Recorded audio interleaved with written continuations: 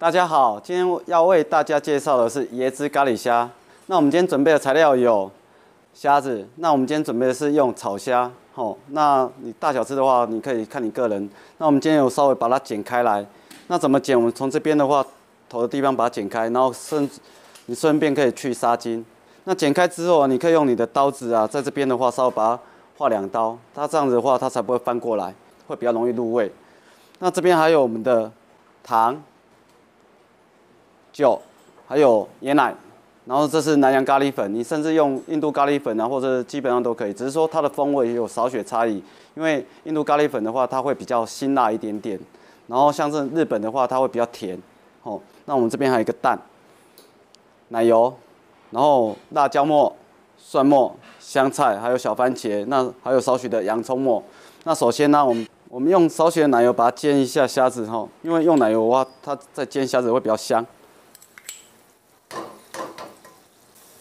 来，把我们的虾子放下来。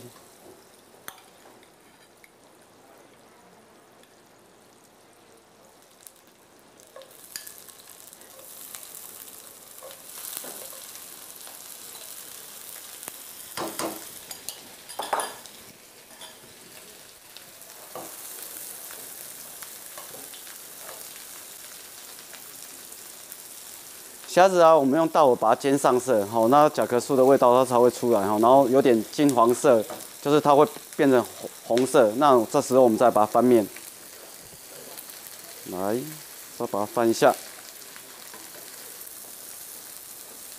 来，我们都把它煎上色之后啊，你可以把虾子先拿出来，来，我先把虾子先盛出来哈。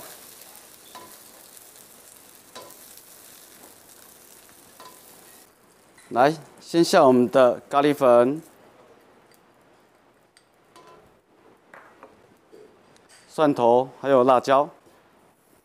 你可以放少许的油，先把它爆香来哈。炒这时候千万温度不要太高，因为咖喱很容易就焦了。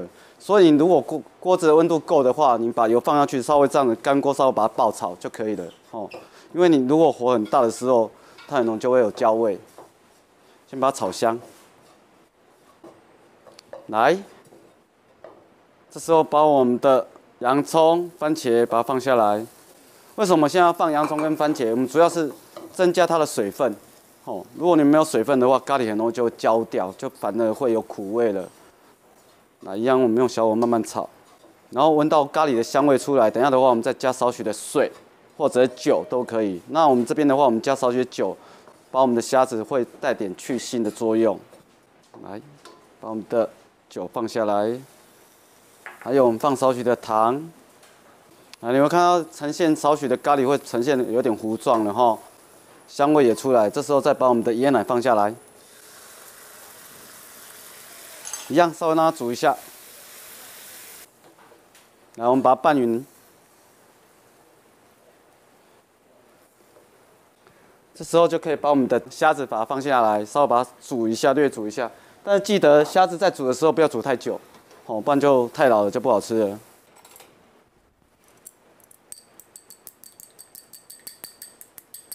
那我们把蛋拌匀，放下去，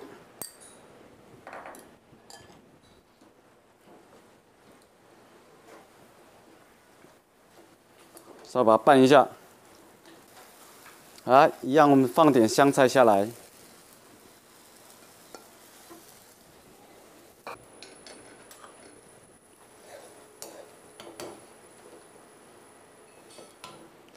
你看一下我们的汤汁啊，它会有点带浓稠，然后虾子啊这样子熟了，这样就可以了，我们就可以把它盛盘了。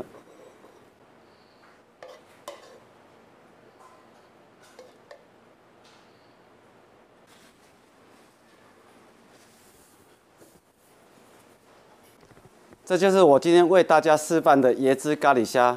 然后夏天的时候你可以吃这个啊，那比较容易开胃，然后小朋友蛮喜欢的，希望你会喜欢它。